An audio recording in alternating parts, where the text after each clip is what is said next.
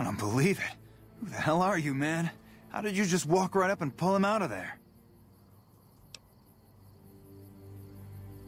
Oh, bullshit. What anybody else would have done is get their asses killed.